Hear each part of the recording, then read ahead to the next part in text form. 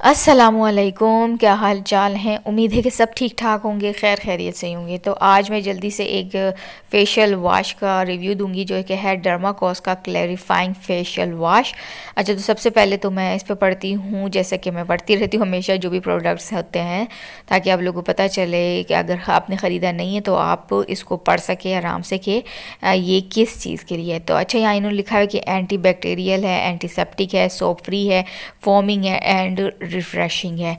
ठीक है तो अब यहाँ पे इसके फ़ीचर्स वगैरह पढ़ते हैं और इसका क्या काम है इस फेशियल वाश का। तो क्या इसे ग्लो मिलेगा कि नहीं मिलेगा तो ये हम पढ़ते हैं। तो यहाँ इन्होंने लिखा कि S L S free clarifying facial wash है, यानी कि सोडियम लॉरल सल्फेट इसमें नहीं शामिल किया गया। और जिससे जो भी क्लिनज़र और जो भी फेस वाश और जो भी सोप वगैरह होते हैं, उसके अंदर अगर सोडियम लॉरल सल्फेट होता है, जिसकी वजह से आपकी स्किन पर वो फोम पैदा होता है। जब आप इस यूज़ करते हैं, कोई कोई भी फेस वॉश या सोप तो वो फोम सा आपकी स्किन पर झाग जैसा होता है ना, वो बनता है तो इससे झाग वाग कुछ नहीं बनेगा। और यहाँ इन्होंने लिखा है कि ये आपकी स्किन को बहुत ज़्यादा ओवर ड्राई नहीं करेगा और स्किन को इरीटेट भी नहीं करेगा। तो ये क्लेम तो इनका बिल्कुल दुरुस्त है। आप जब इसको इस्तेमाल करते हैं तो आपकी स्किन बिल्कुल भी ड्राई आउट नहीं होती, बिल्कुल स्मूद रहती है।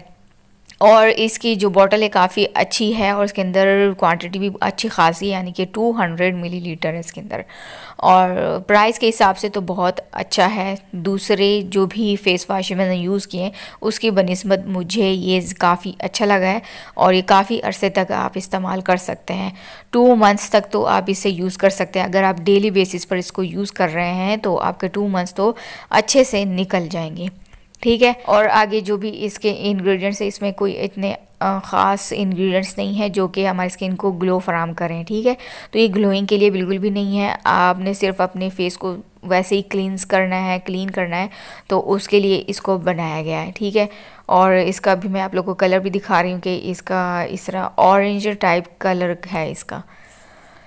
तो बस ये आप लोगों की स्किन को डीपली क्लींस करेगा और इसमें एक और बात है कि ये आपकी स्किन का जो नेचुरल पीएच है, उसको बैलेंस रखेगा।